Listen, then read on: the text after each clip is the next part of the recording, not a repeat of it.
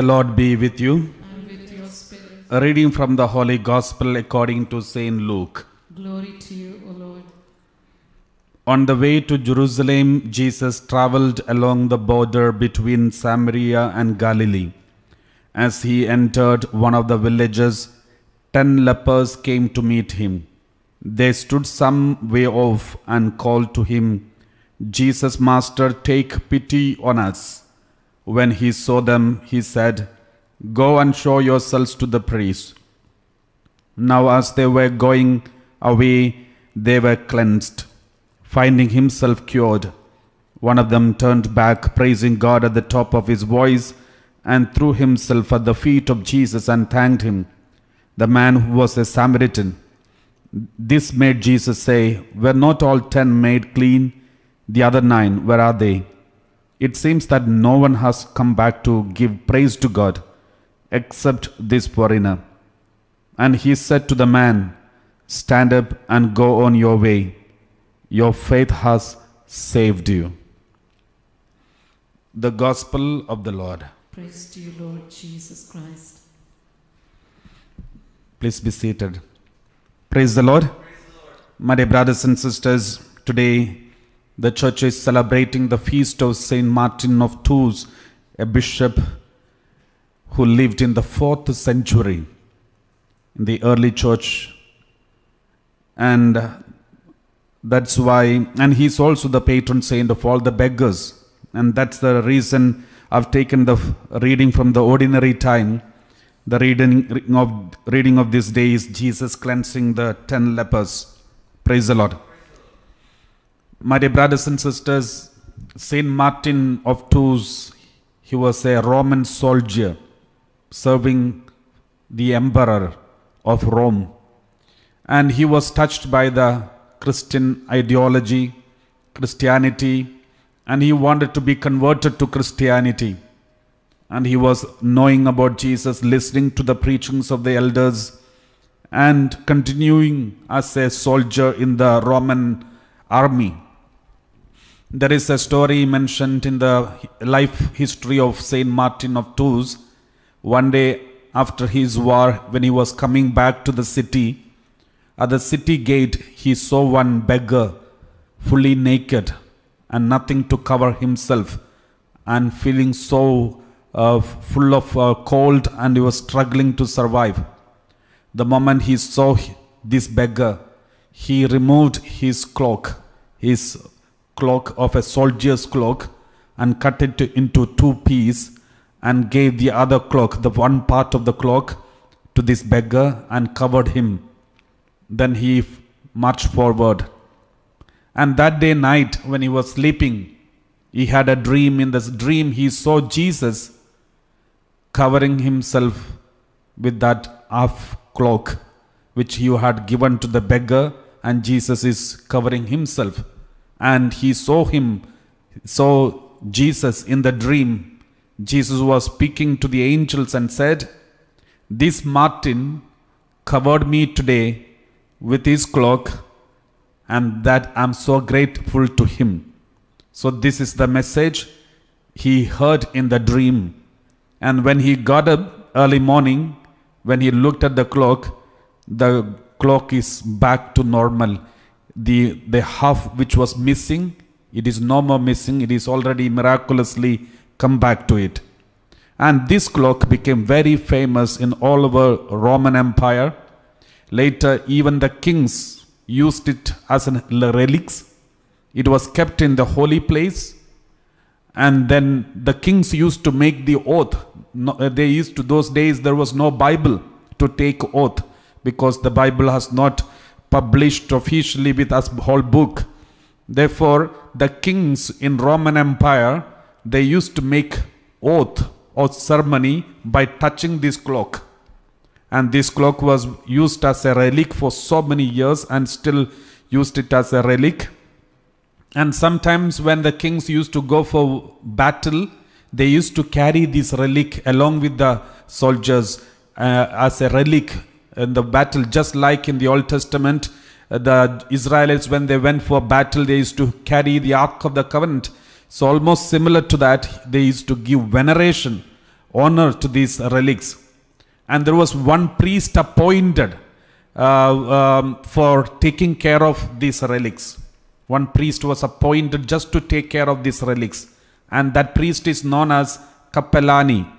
So, so that is why uh, from Kapelani, from that word, we have the priests who are in charge of uh, military.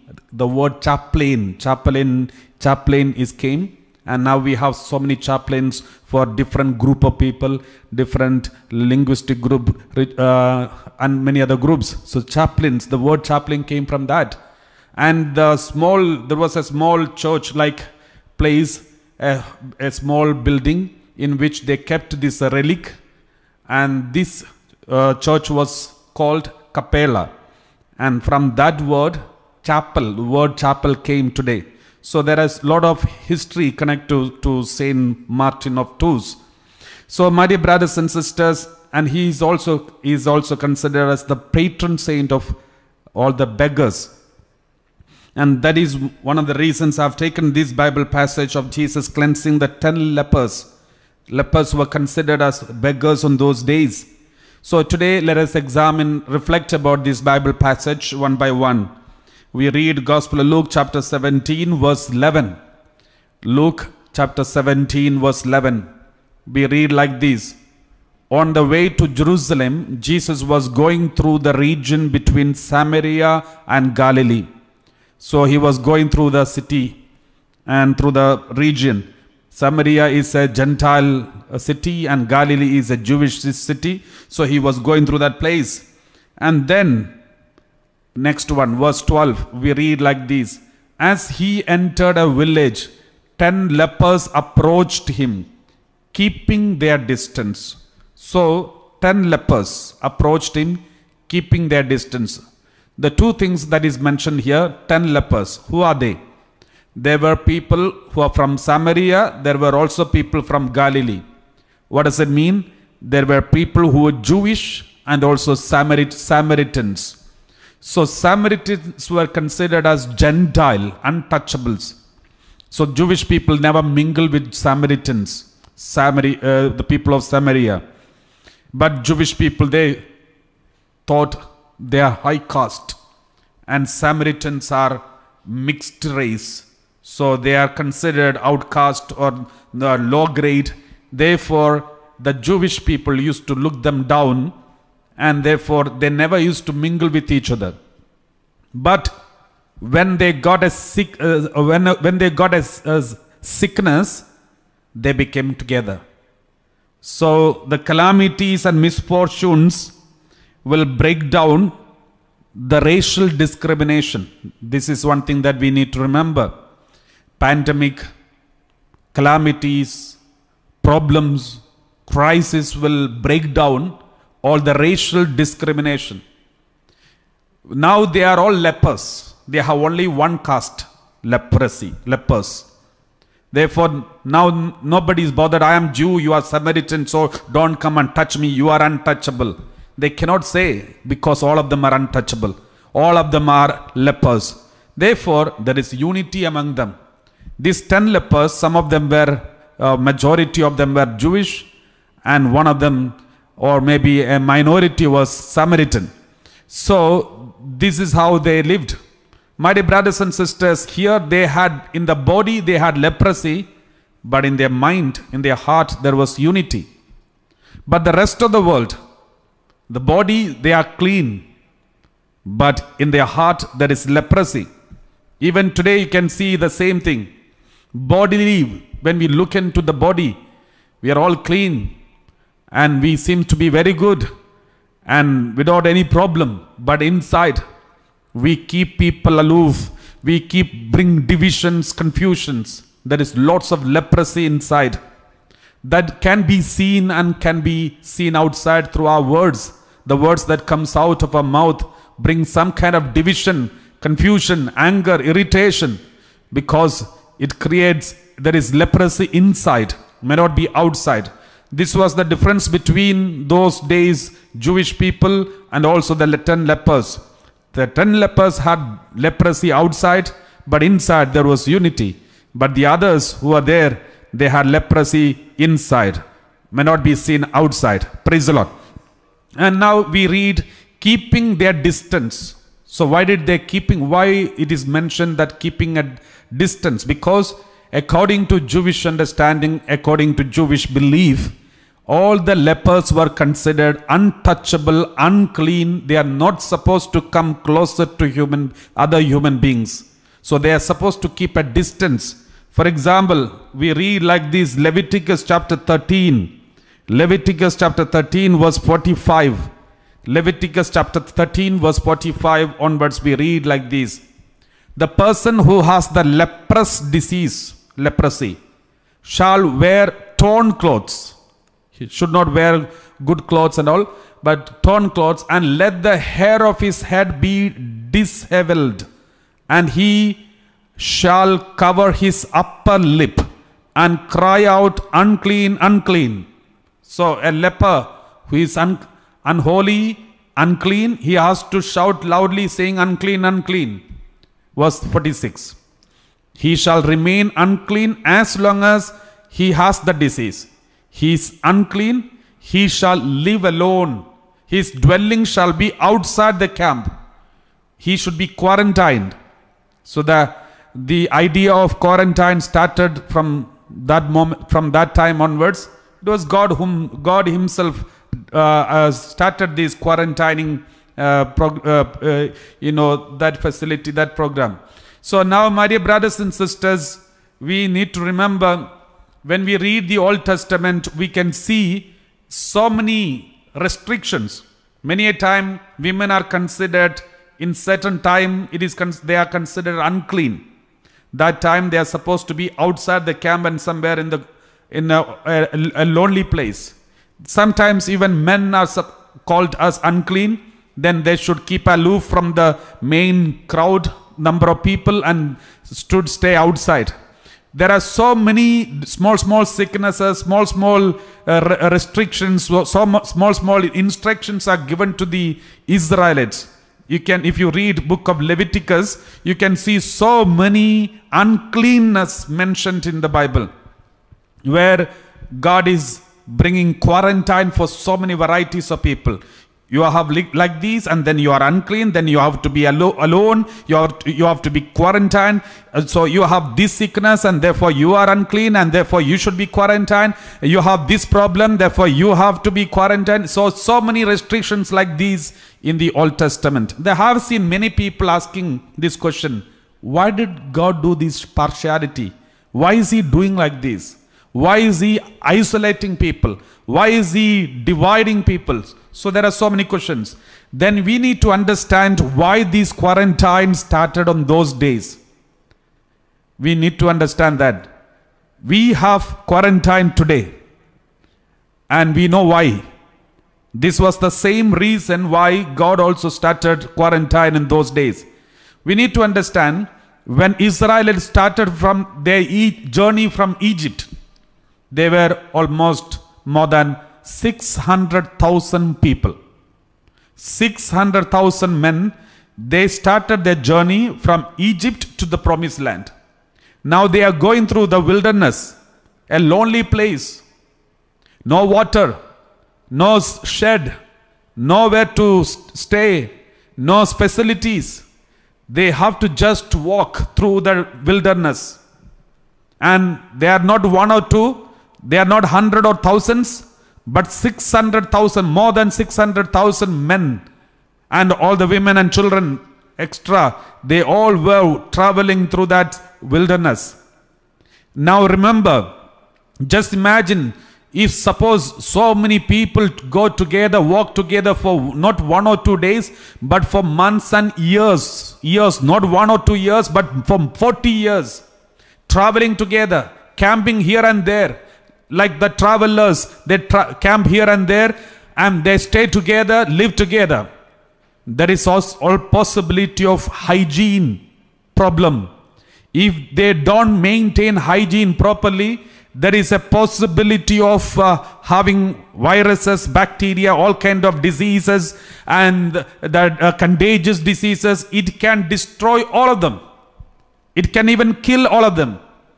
In order to prevent them from getting into such problems, God brought some rules and regulations and restrictions among them so that they may not be affected and infected by any kind of virus or bacteria, which was also existing in those days too. Praise the Lord. So that was the reason why in the Old Testament we can see so many rules and regulations for even small, small things. There are so many people are considered unclean and they are set apart and quarantined for certain period of time so that until they are made clean they cannot enter into the community or society and get in touch with the others so that the others will be safe.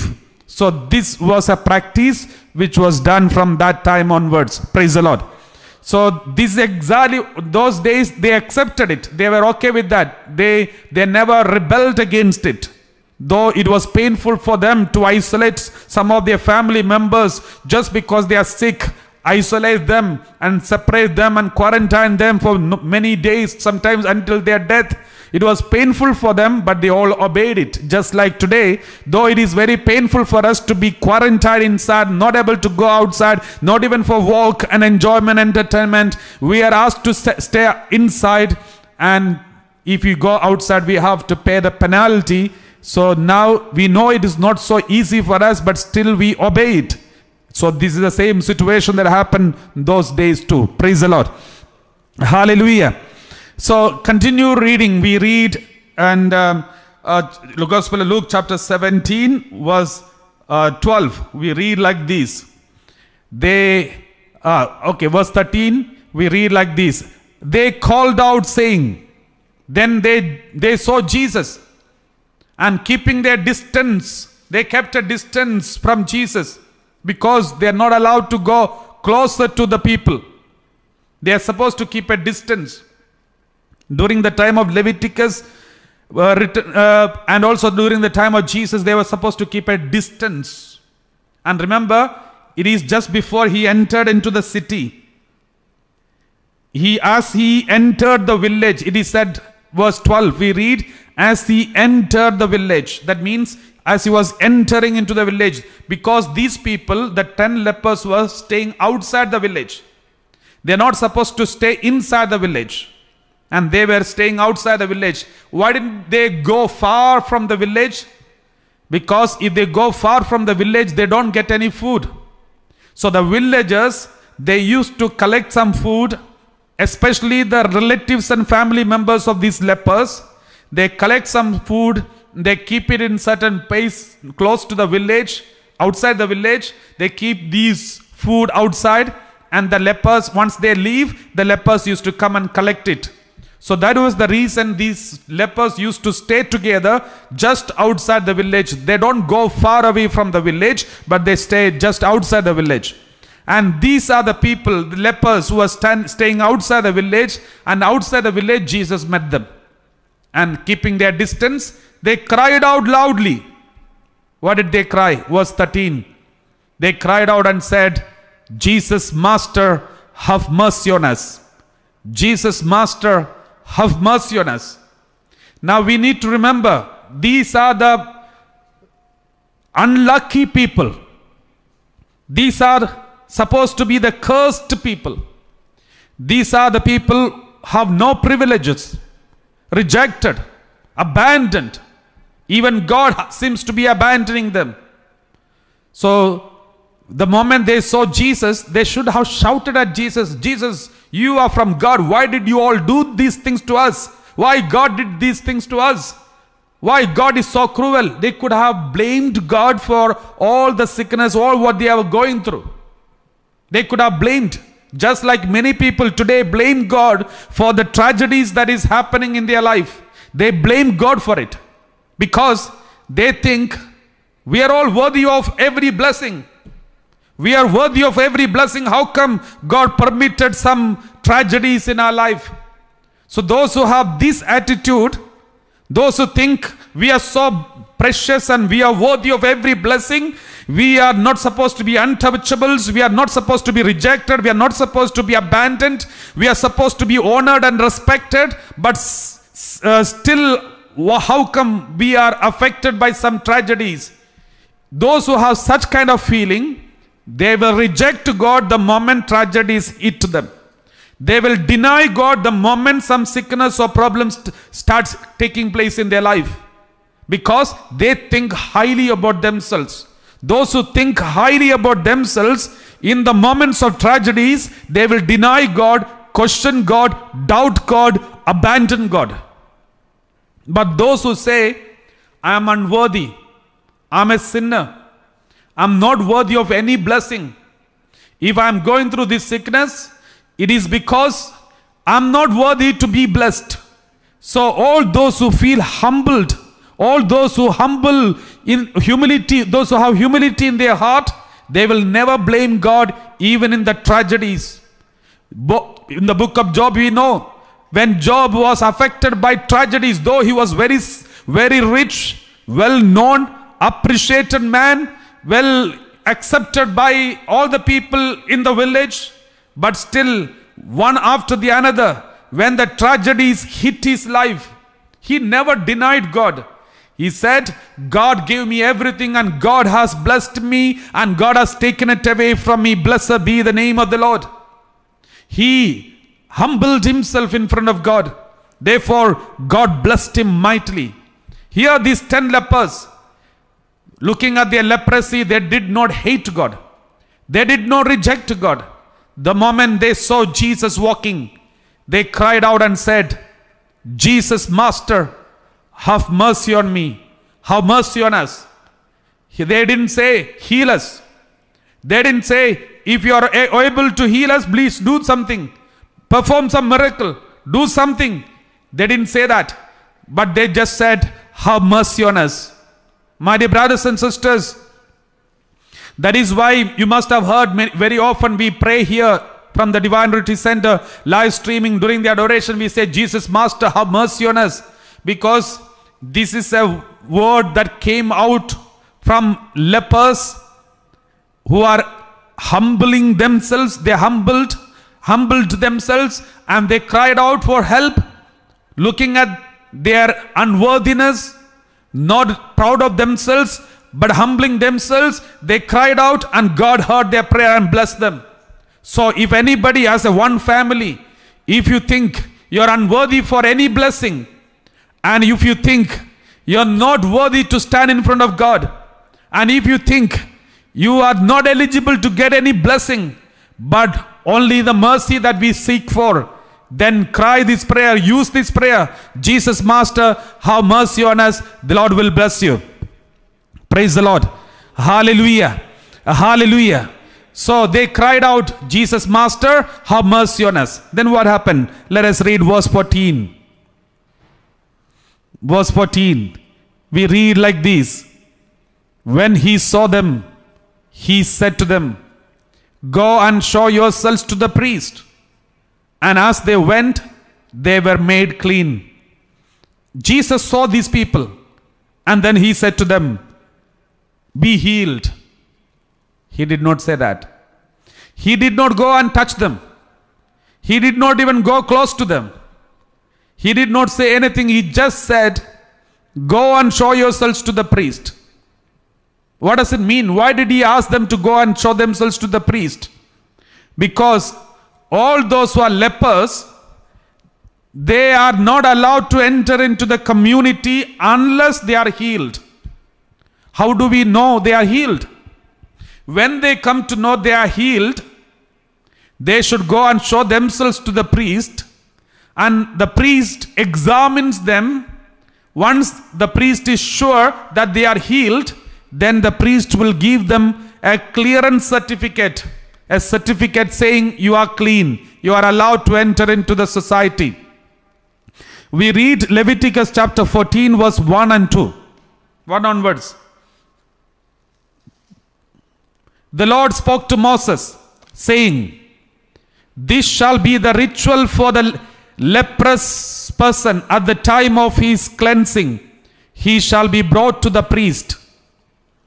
The priest shall go out of the camp, and the priest shall make an examination. If the disease is healed in the leprous person, verse 4, continue. the priest shall command that two living clean birds and cedar wood and crimson yarn and hyssop be brought for the one who is to be cleansed. There should be a ceremony. There should be a ceremony. Through the ceremony, they will be declared clean. The priest shall command that one of the birds be slaughtered over fresh water in an earthen vessel. Continue. He shall take the living bird with the cedar wood and the crimson yarn and the hyssop and dip them and, and the living bird in the blood of the bird that was slaughtered over the fresh water. And he shall sprinkle it seven times upon the one who is to be cleansed of the leprous disease. Then he shall pronounce him clean and he shall let the living bird go into the open field. Then he will, after all the ceremony, the priest will pronounce him clean. And only then he is declared clean and then he is allowed to enter into the community.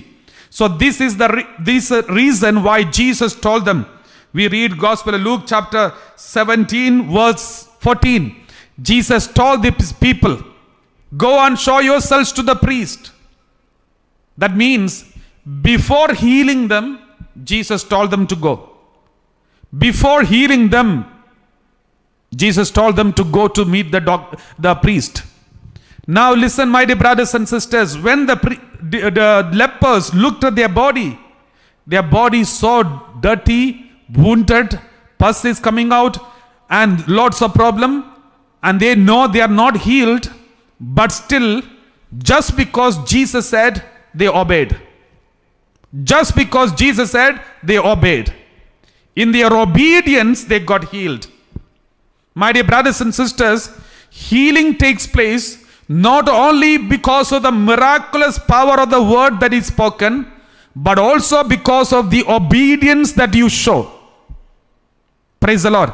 This you have to be very careful. There are many people who say, Father, please pray for me. Father, pray, pray for me. Bless me. Pray for healing. And they do ask for many intercession and prayers. But at the same time, they are not ready to obey the command of God. The commandments that is given to you by Jesus through the word of God. Command to be obedient to God. Command to be holy. Command to forgive your enemies. Command to love everyone. Command to pray. And command to all the good things the Lord has told us to do. We are not ready to follow it up. Not ready to obey. And that is why many people do not receive healing, even though there are thousands who are praying, even though they are attending so many live streamings, even though they do kneel down and pray, they are not getting healing because they forgot to obey the word of God. Praise the Lord. Here you can see Jesus told them, Go and show yourself to the priest. They could have looked at Jesus and said, Jesus, how can we go to the priest now? We are not healed, we are unclean. If we go to the priest now, the priest will chase us out. First, you clean us, then we will go. They could have argued like this. But Jesus said, Go yourselves to the priest. Go yourselves to the priest. Go and show yourselves to the priest. And they did not question anything. They blindly obeyed what Jesus said. My dear brothers and sisters, many times people ask for prayers. We give them word of God to repeat, saying, repeat it 25 times for one week or one month, or repeat these words, these words. Sometimes some people say, Father, I have read this many times. Some people say, why should we say 25 times? Maybe I will say one time. Some people say for one or two days and after that just give up. My dear brothers and sisters, any instruction which God gives you in any way, if it is, you know, if sometimes we feel it is silly and funny, but just obey it, you will see the miracle. Sometimes our reason cannot understand it. What is the meaning in repeating this prayer? What is the meaning in doing fasting? What is the meaning in what is the connection between my sickness and going for confession? Confession is my spiritual aspect, but sickness is my physical aspect. What is that connection? We won't understand anything because our reason cannot understand. These lepers could have said, What is the connection? First, you, you heal us, then we will go. But before healing, why should we go and show ourselves to the priest? Praise the Lord. My dear brothers and sisters, just believe you will see the glory of God. Putting on new man even when we still look and feel like old man. We have to put on new man even when we still look like and feel like old man. This should be our attitude when we come closer to God. Believe God has forgiven you. Believe some people, even after the confession, Though in the confessional the priest has forgiven them in their Father and their Son and the Holy Spirit all their sins, but still after the confession they go around as if they are still carrying big burdens of their sins. They don't believe that they are forgiven. Though God has already told them, believe. Your sins are washed away. Believe. Praise the Lord. So this belief is very important. If God says something, it will happen. So believe. Praise the Lord. Uh, hallelujah. Let us read Matthew chapter 8, verse 13. Matthew 8 13. And to the centurion, Jesus said, Go, let it be done for you according to your faith. As you believe, it will be done to you. Jesus said, Matthew 9 29. Matthew 9 29. Let's read. We read like this Then he touched their eyes and said, According to your faith, let it be done to you. According to your faith, the importance of your faith. Your faith is very important. Matthew 21, verse 22. Matthew 21, 22. Whatever you ask for in prayer, with faith, you will receive. Whatever you ask for in prayer, with faith, you will receive. Mark 11 24. Mark 11 24. We read, So I tell you, whatever you ask for in prayer, believe that you have already received it. It will be yours. Praise the Lord. Already received it. How do we believe as if we have already received? That is why the best prayer is thanksgiving prayer. Suppose you are praying for your husband who is addicted to alcohol. You instead of praying to God, God, please deliver my husband from alcohol. Thank God like this Lord, thank you for delivering my husband from alcohol. Even before he is delivered from the alcohol, start thanking God for delivering him from the alcohol. Praise the Lord. The same way, I tell you, whatever you ask for in prayer, believe that you have received it and it will be yours. Praise the Lord. That is why your prayer, your belief, your obedience is very much important for God when it, when it comes to healing. We read Matthew chapter 9, verse 28 and 29. Matthew 9, 28 and 29. When he entered the house, the blind men came to him, and Jesus said to them, Do you believe that I am able to do this? They said to him, Yes, Lord. Do you believe that I am able to do this? My dear brothers and sisters, all those who are attending this live streaming, do you think you are just trying your luck? Are you just trying your chance? Or are you 100% sure that the Lord Jesus is able to do everything in your life? The Lord is asking this question to you and me. Do you believe that Jesus is able to do this for you? Do you believe that Jesus is able to raise you from your bed? Do you believe that Jesus is able to pay off all your debts, which is impossible for you to pay the debt? Do you believe this? If you say yes, just believe it, it will be done to you. Just start thanking God as if it is already done. Just thank God and start believing, start moving. If you are bowing down, if you are lying down, bedridden, not able to move, believe that God has healed you and get up. You will see the miracle. Just like Jesus told the lepers, go and show yourselves to the priest. They went, they got healed. In the process of obedience, they got healed. Jesus told the man who was with their hand, Stretch out, stretch out. Then he stretched out. He could have said, No, I can't stretch out. I can't stretch out. He could have said that. But he tried. Then it happened. The paralyzed man who, was lying down on the shore of Bethsaida pool, he was lying down for 38 ye- long years. He's paralyzed. What did Jesus say? You are healed. No, he didn't say that. He said, Get up, take your mat and got everything and go. Then he could have said, Jesus, first, how can I get up? I'm paralyzed. He didn't argue. He just tried, it happened. You try, it will happen. Believe in Jesus. Do you believe that Jesus can do this? And then do it. Start doing it. It will happen. Praise the Lord. Hallelujah. Thank you, Jesus. This is the secret of healing that Jesus always do. He knew that if you believe, you will see the glory of God. If you believe, praise the Lord. Hallelujah. So Hebrew chapter 10 verse 19. Hebrew chapter 10 verse 19.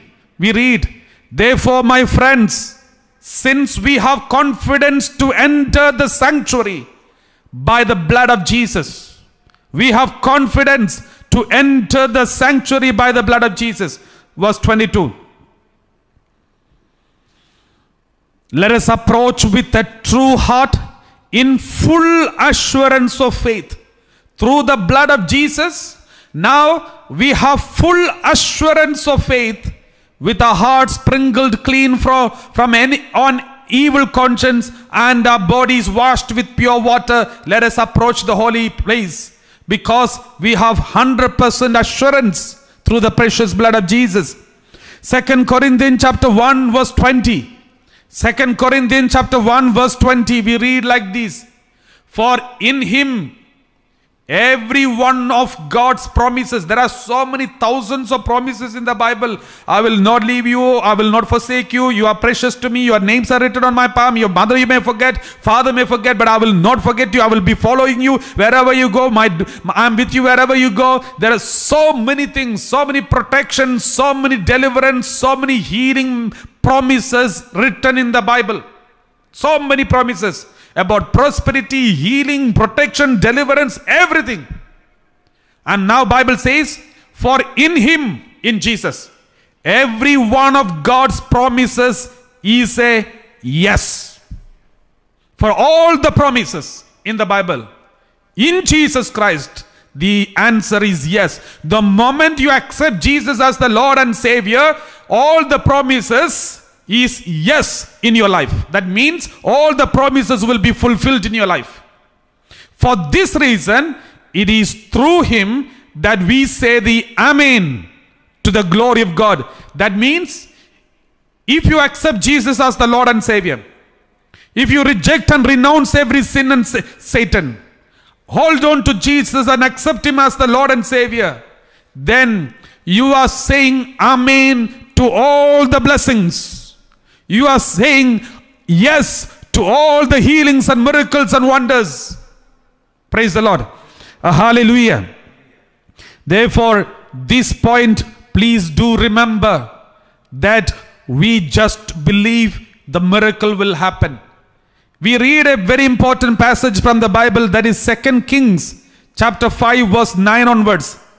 A person called Naaman came with his horses and chariots and halted at the entrance of Elisha's house. He is a, he is a leader, commander in chief, and uh, he's a pagan.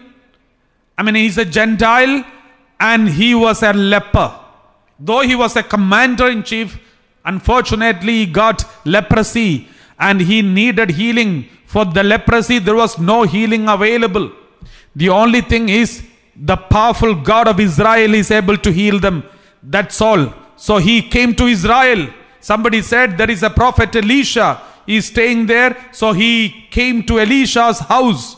And verse 10 Elisha sent a messenger to him, saying, Go, wash in the Jordan seven times, and your flesh shall be restored, and you shall be clean. Now, he is coming from his, his country, and now Elisha is in Israel. The rivers of Israel, the most beautiful one is in Jordan, and Jordan's water is known for its unclean water. It's not so good water, it's a dirty water. Even today, if you go to Jordan, the water is not so clean, but it's only clean certain times. So, the Jordan water was not considered as so clean. So Elisha sent a messenger. Elisha did not go himself. He sent only a messenger. But who is Naaman? Who is Naaman is a commander in chief. Very important, reputed man. He has so many followers, so many soldiers are with him. And he is collecting lots of gifts and fruit, got uh, gold and silver, so many, so many things, wealth to provide, to give it to the Elisha. He is giving as a royal king. But Elisha did not even bother about him. And Elisha, he sent only a messenger and said, Go and wash in the Jordan River seven times. Not one time, not two times, but seven times in the dirty water. Then Naaman got, you know, rejected. He was insulted. Let's read verse 11. But Naaman became angry. He and went away, saying, I thought that for me he would surely come out and stand and call on the name of the Lord his God and would have would wave his hand over the spot and cure the leprosy. I expected a miraculous healing. I expected a miraculous healing. I thought for me he says for me because he always exalted himself. He knew he's somebody high high rank official. So he high you know, he lifted himself high, he exalted himself. My dear brothers and sisters, it shows leprosy is not only in his body but also in his heart. So he was exalting himself, and that is why he got offended. Those who exalt themselves, when God asks them to do small, small things, they may not agree with it. That is why many people cannot accept the Holy Eucharist they cannot believe the Almighty God comes in the form of bread. They can't believe it because it is too too uh, uh, incomprehensible for them. They cannot ad- adjust. They cannot accept it because they are using their intellect so much. My dear brothers and sisters, that's why some people cannot even con- accept confession. Just go and confess your sins. The priest absolves your sins, and your sins are forgiven. Can't believe. Many people cannot accept. And this man, he exalted himself and he could not believe that this small instruction, just go and take bath seven times in the dirty water, it'll be okay. He could not believe this. He could not accept it. He was expecting something miraculous, spectacular, and that did not happen. Verse 12. We read like this Are not Abana and Pharpar, the rivers of Damascus, better than all the waters of Israel? Could I not wash in them and be clean? He turned and went away in a rage. He was so angry. He said, Abana and Pharpar, the rivers of Damascus, better than all the waters of Israel. Why should I take bath in this dirty water? I will go and take bath in my country, in my river. So he was so angry. Then verse 13. But his servants, he had so many servants, they approached and said to him, Father, if the prophet had commanded you to do something difficult, would you not have done it? How much more when all he said to you was, Wash and be clean? See, sometimes the message and wisdom may come from ordinary people. Some people, they only obey when their higher superior speak to them. They say, Let my superior speak to me, I will obey. Let Pope Francis come and speak to me, I will obey. Let Prime Minister announce, then I will obey. They cannot accept if someone, their colleague, maybe some subordinate, tell them to do something, they cannot accept it. Who are you? But the God's wisdom may come through anyone. I have seen the same thing everywhere. In the parishes, retreat centers, everywhere. People, they say, let the priest come and tell me, then I will obey. Who are you to dictate terms to me?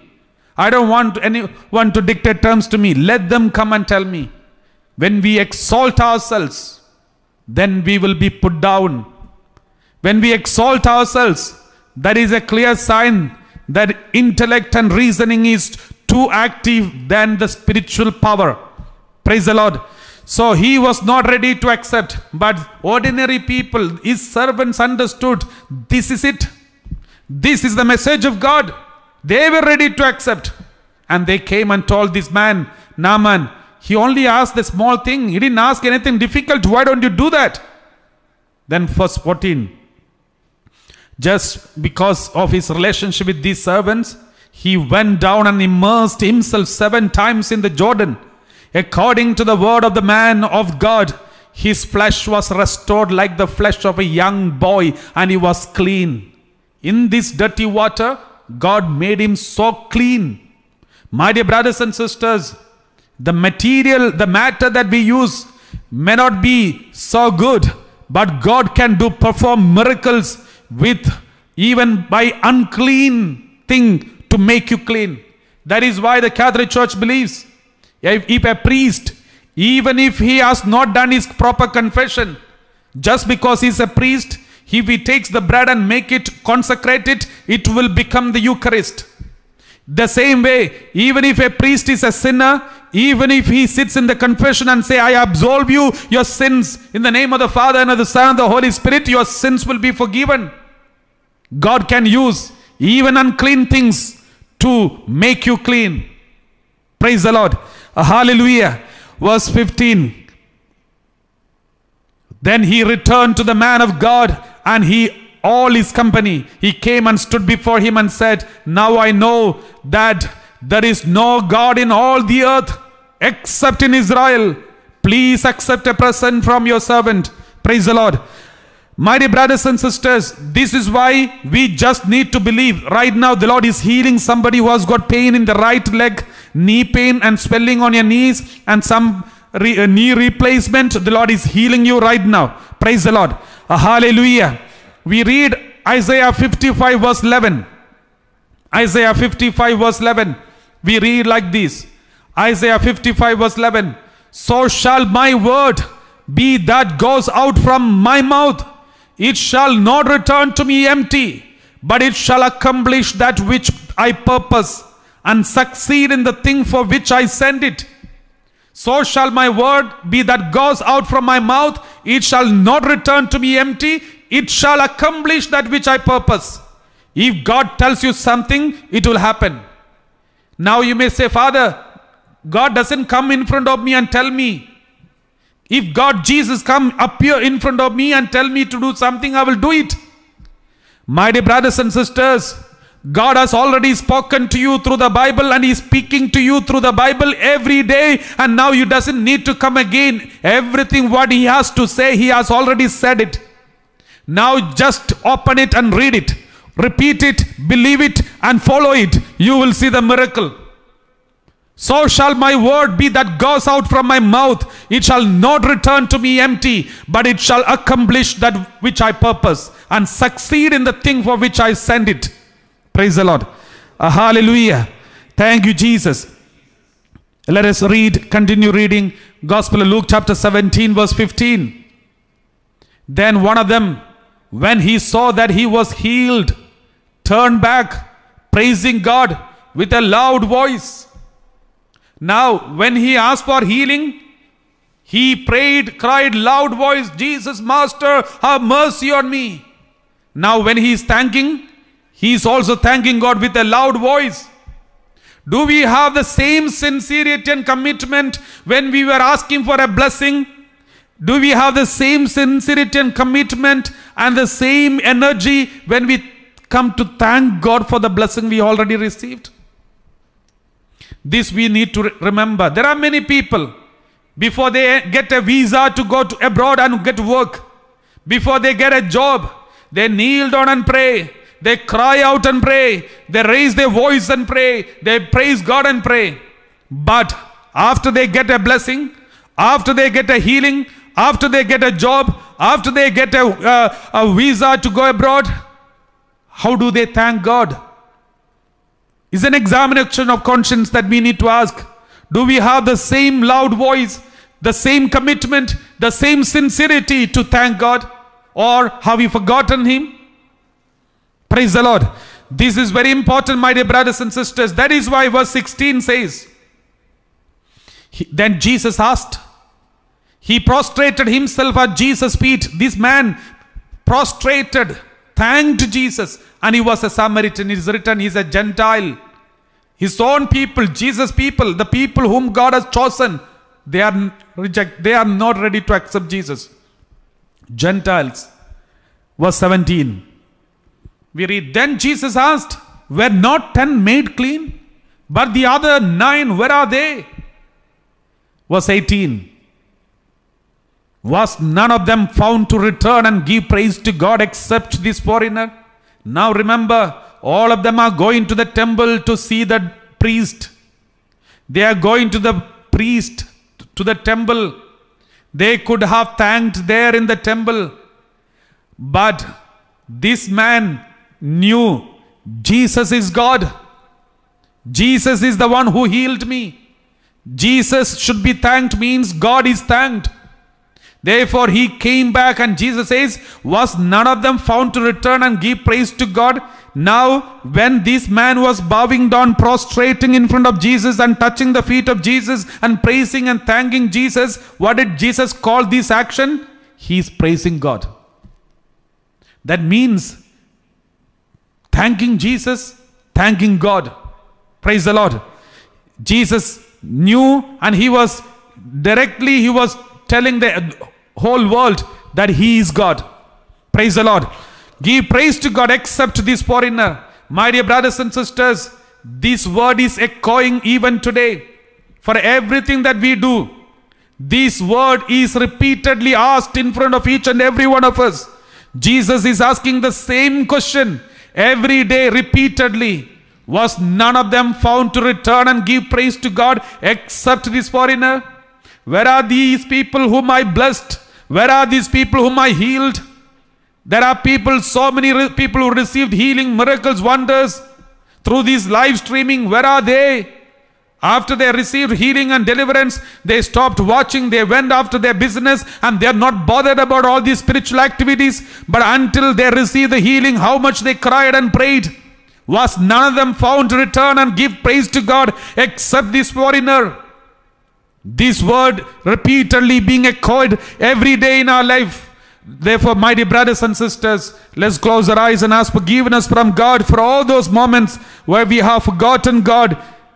When we were in sickness and problem, we cried out to God. When we received healing, we forgot God. Let us ask forgiveness from God for these.